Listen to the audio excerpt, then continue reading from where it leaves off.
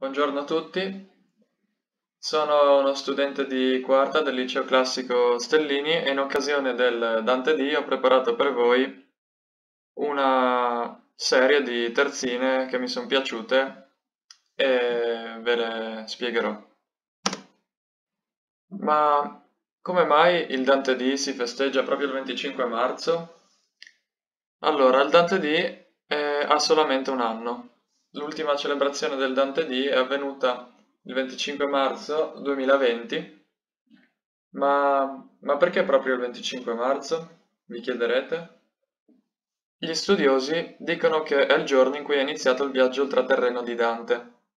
Infatti, la Divina Commedia inizia per consuetudine in questa data, perché eh, esattamente in questo giorno, ovvero il 25 marzo, Dante inizia la sua discesa all'inferno. E che cosa rappresenta per noi il Dante D?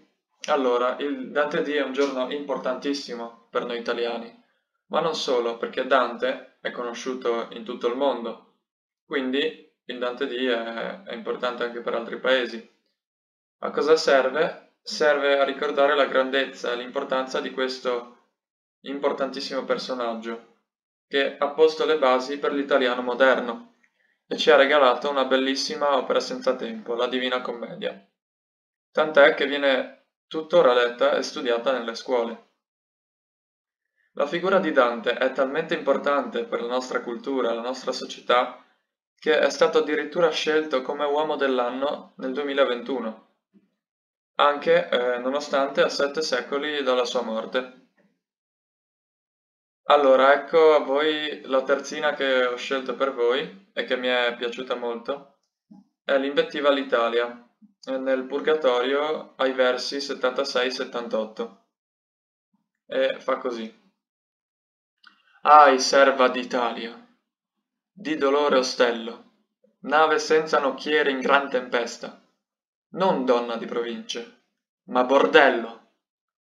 La parafrasi di questa bellissima terzina è Ahi serva d'Italia, ricettacolo di dolore, cioè luogo di dolore, nave senza timoniere in una grande tempesta, non signora di popoli, ma luogo di corruzione.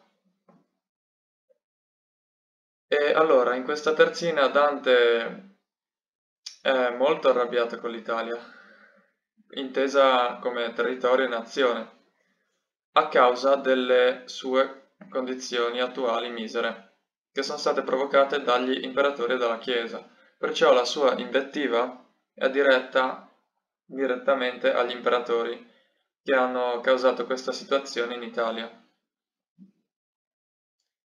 Questa è la seconda terzina che ho scelto e si trova sempre nel Purgatorio, del, nel quattordicesimo canto. Sono i versi 109 e 111. e fa così. Le donne, cavalier, gli affanni e gli agi che ne invogliava amore e cortesia, laddove i cuor son fatti sì malvagi. Questo significa le donne e i cavalieri, le pericolose imprese e i riposi di cui l'amore e la cortesia suscitavano il desiderio, mentre ora i cuori sono malvagi.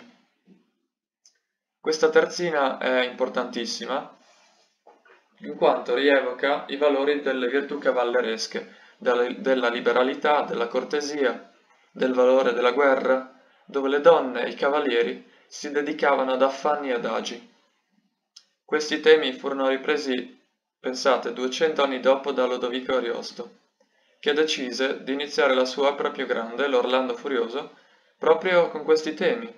Infatti, il proemio dell'Orlando Furioso inizia così le donne, i cavalier, l'arme gli amori, le cortesie, l'audaci imprese io canto. Quindi vedete, tutto è collegato. Perché ho scelto proprio queste terzine? Allora, ho scelto queste due terzine, oltre per il fatto che sono molto belle mi sono piaciute, anche perché descrivono appieno lo stile di Dante. Da un lato utilizza un linguaggio di stile basso, utilizzando anche parolacce come nell'invettiva all'Italia, Dall'altro lato è in grado di essere raffinato nei temi e nel linguaggio, come nel secondo passo che vi ho proposto, che ha anche ispirato l'opera di Ariosto. Perché leggere Dante? Eh, ho caricato un breve video. Allora chiudiamo il giornale e apriamo la commedia.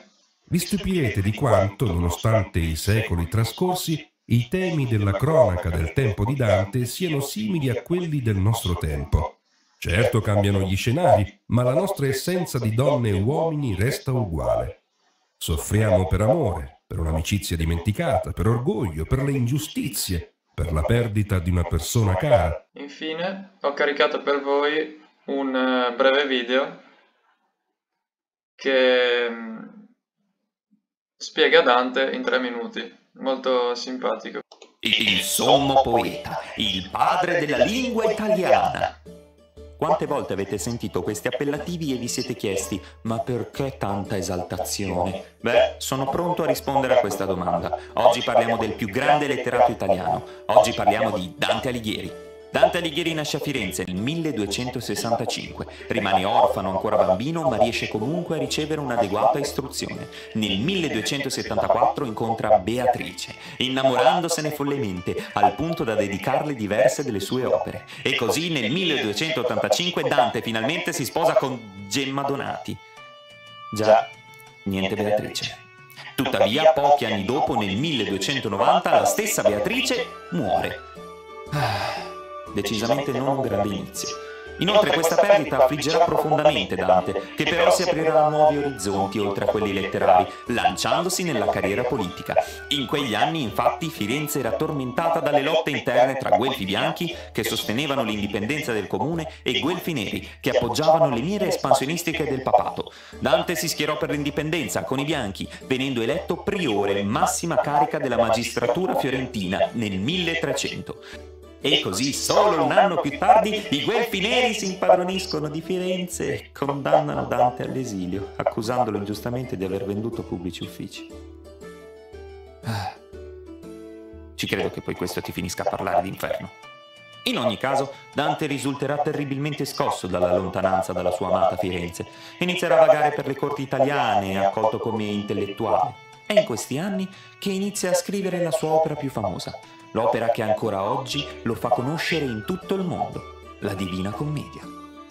La Divina Commedia racconta il viaggio che Dante immagina di compiere nei tre regni dell'oltretomba, inferno, purgatorio e paradiso, tra il venerdì santo e la Pasqua dell'anno 1300, si tratta di un'opera allegorica, improntata su un profondo simbolismo. È un'opera unica nel suo genere e prima di tutto è doveroso capirne la struttura. Infatti, la Divina Commedia è legata interamente alle cifre 1 e 3. Questo perché sono i numeri che rappresentano Dio, che è uno e treno.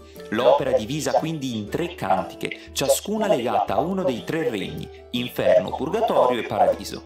Tutte e tre le cantiche sono composte da 33 canti. Ciascun canto è costituito da terzine di endecasillabi, cioè strofe di tre versi, ciascuno composto da 11 sillabe. L'inferno presenta inoltre un canto di introduzione, il canto 1, che sommato agli altri 99 dà il risultato perfetto di 100 canti. Non si può certo dire che Dante non fosse uno attento ai dettagli, ma per oggi è tutto. La mia presentazione termina qui, spero che vi sia piaciuto, grazie per l'attenzione.